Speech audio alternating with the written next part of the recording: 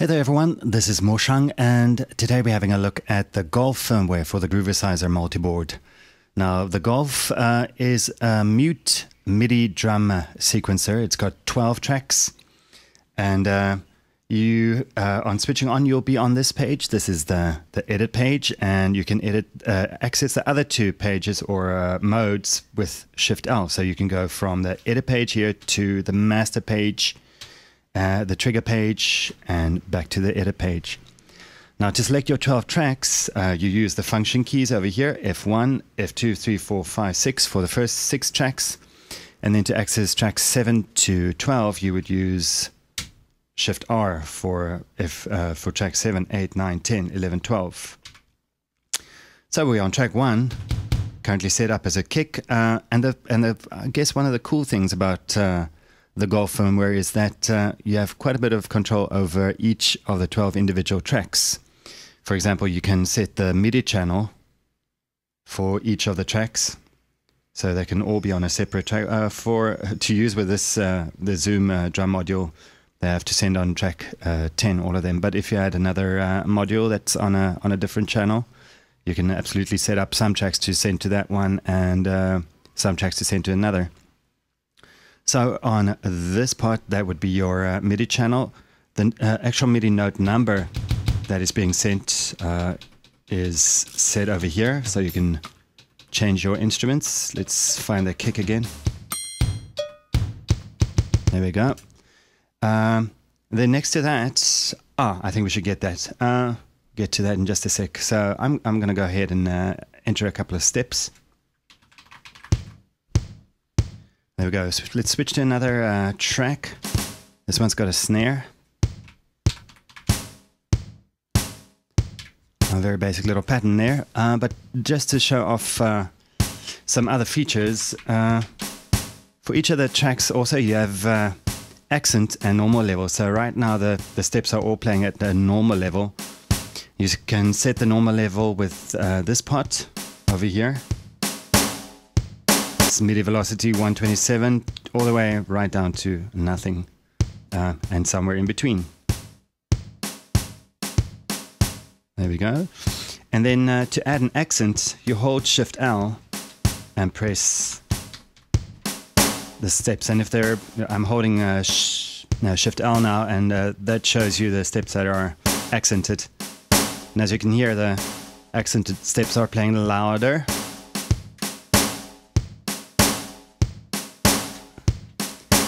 Um, but uh, obviously you can set the level for that as well. So if you want to set it softer than the normal level, that's up to you. Or loudest or somewhere in between. And again, this is uh, separate uh, for each of the of the different of the uh, 12 tracks. Okay, let's add another instrument. Okay.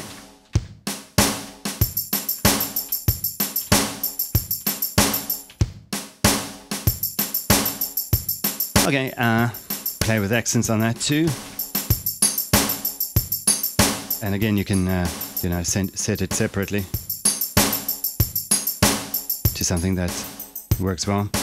Uh, I would like to show off another feature, and that is flams. Actually, flams go all the way into uh, delay uh, territory because you can set them to be quite long. Let's add a flam. So just to be clear, Let's make all of those steps uh, flammed and to do so you hold Shift R to add a flam and then press a step.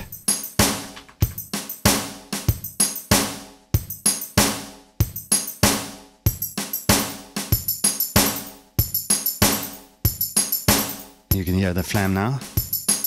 And uh, again, for each of the tracks, uh, you have control over the the the delay, the, the kind of delay, uh, how long it takes before uh, the the tap is repeated.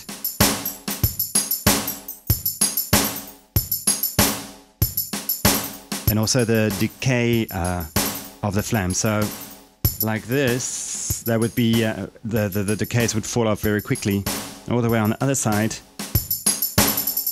you can hear they will just carry on going. Um, and what this display shows you is the actual uh, MIDI velocity level by which each of the uh, consecutive steps are, are lowered.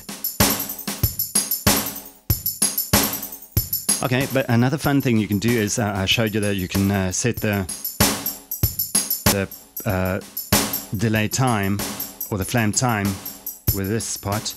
But if you hold Shift uh, L in, those become a tempo delay. So you can do like this.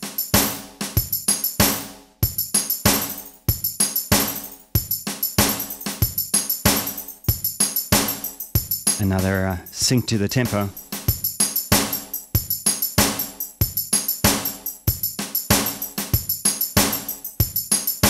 And again, there, uh, I should reiterate that that it's separate for each of the tracks. So I can go back to my snare here and set up a, a different kind of a delay on, on that one or a different kind of flam.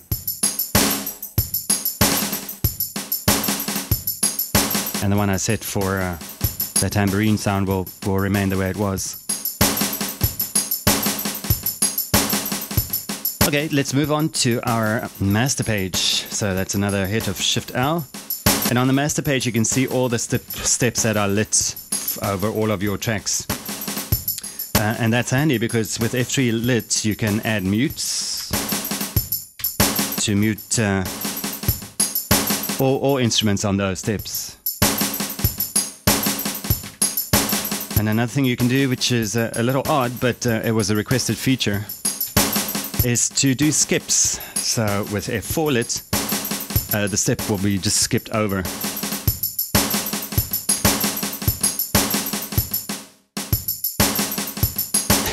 it makes for very weird little little patterns. By the way, uh, uh, throughout, if you want to clear everything that's selected, you hold Shift L and F1, and that will clear clear everything. And now, if you do that, you're going to get probably out of sync with uh, the rest of your instruments. So to get it back to the actual, uh, the real first step, you would have did uh, Shift R once. Okay, uh, on F2 we have tap tempo.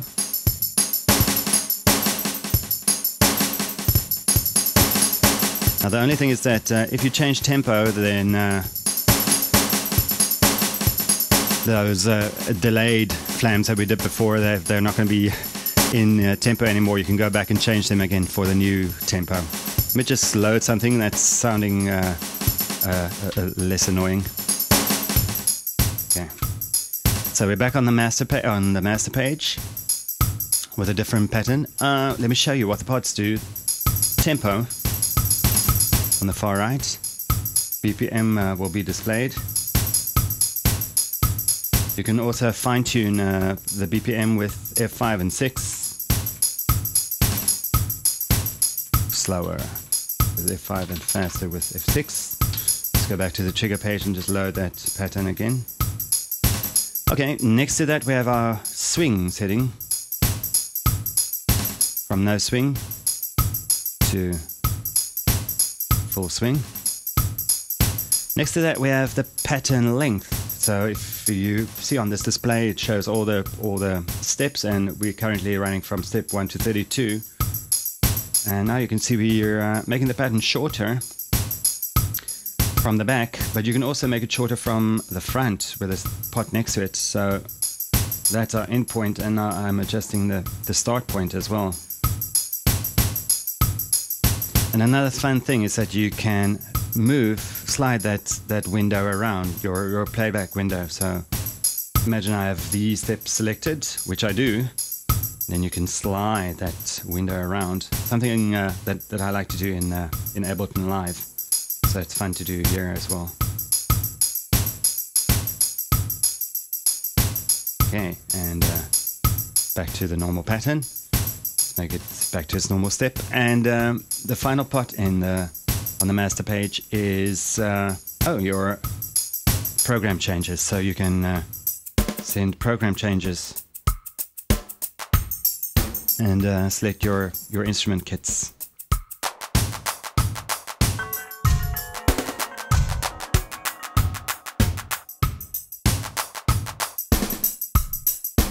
Okay, moving on to the trigger page where you save and load patterns. Now, to save a pattern in memory, you uh, choose one of your empty spots. Um, you have 32 uh, save locations on each page.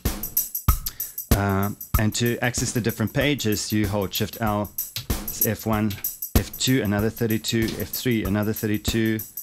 And on the fourth uh, trigger page, you have access to the first uh, 16.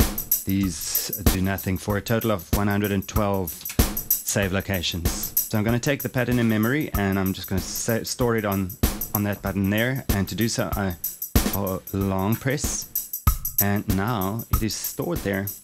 If you want to overwrite uh, a pattern already in memory, it will, uh, let me load something else. Okay.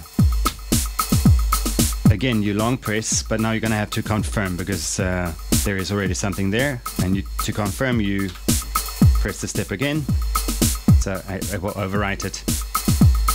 Okay, and uh, you can also do pattern chaining. So let me show you over here. F6 shows that at the end of this pattern, it will jump to the next one. Same with this one. Uh, F5 shows that we'll jump back to the head, and the head is the, the first pattern that was triggered. So if I started over here, we'll just jump between those two. This will be the head. Go to the next pattern, jump back to the head. So it's going to go back to, to this one over here. Okay, and that's basically it for the Golf firmware. Um, no real-time recording at this point, but there's still quite a bit of firmware, well, space left, uh, programming space, so I may be adding that at a later point. Uh, a final thing I wanted to show you, uh, well, actually, it's a bit of a complaint because I wrote this uh, this firmware to work with my uh, MPX 8 from Akai, and uh, unfortunately, the uh, MIDI input on the on the MPX8 is a little borked, and to and to show that to you, I'm going to do the following. I'm going to clear this pattern and uh, just oops. Okay. Add some 16ths. Oops, let's find an instrument. There we go. Let's use this one.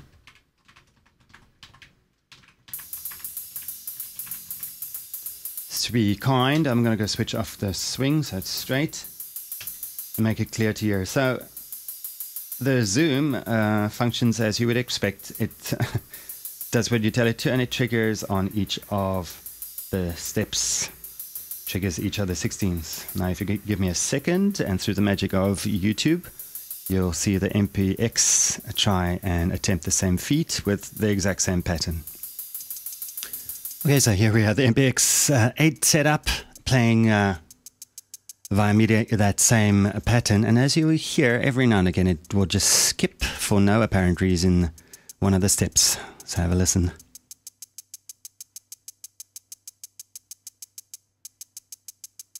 Oh, was one. And another.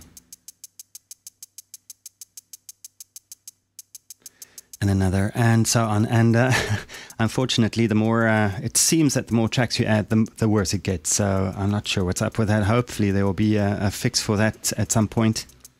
But anyway, that was a look at the Golf firmware for the Groovesizer MB. Oh, available now at groovesizer.com. Thanks for watching.